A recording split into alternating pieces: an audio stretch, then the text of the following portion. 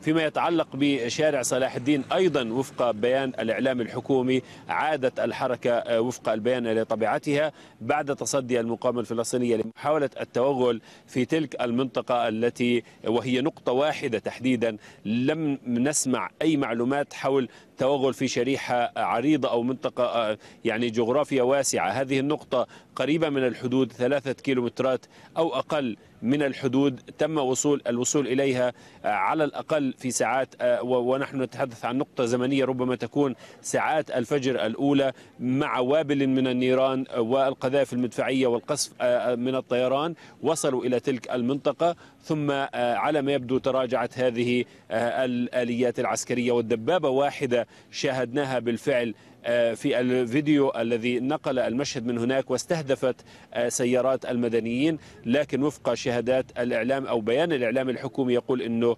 يعني انسحبت تلك الآليات ولا يوجد توغل واسع شرق مخيم البرج بطبيعة الحال. هذا ما أكدناه خلال الأيام الماضية ونستطيع تأكيده الآن أنه ما يحدث شرق مخيم البرج هو تقريبا 300 إلى 400 متر فقط ولا يوجد توغل داخل المخيم لأنه المنازل هناك تختلف عن المنطقة المنطقة التي تم التوغل فيها صباح هذا اليوم. المنطقة التوغل صباح هذا اليوم منطقة زراعية مفتوحة عدد قليل من المنازل. حتى المنازل في تلك المنطقة ومحيطها تم استهدافه. لكن مخيم البريج مثلا تلك مناطق مكتظة بالسكان ومنازل المواطنين ملاصقة أو, أو تكاد للشريط الحدودي. وذات الحال يقع في منطقة شرق حي الشجاعية وبالتالي هذه واحدة من النقاط. إضافة إلى النقاط التي تقدم فيها خلال الأيام الماضية أولا بيت حانون الشمال الشرقي وثانيا بيت لاهية إلى الشمال الغربي من قطاع غزة. وهذه المناطق أصلا رخوة بالمعنى. العملياتي حتى لأنه لا يوجد فيها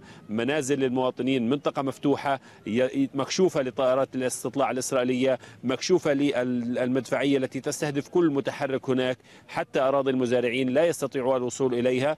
والحال ذاته فيما يحدث في منطقة بيت حنون. لكن في بيت حنون تم مسح أحياء بالكامل وضمها إلى المساحات المفتوحة المكشوفة لجيش الاحتلال الموازية والملاصقة للحدود الفاصلة بين قطاع غزة والأراضي المحتلة عام 48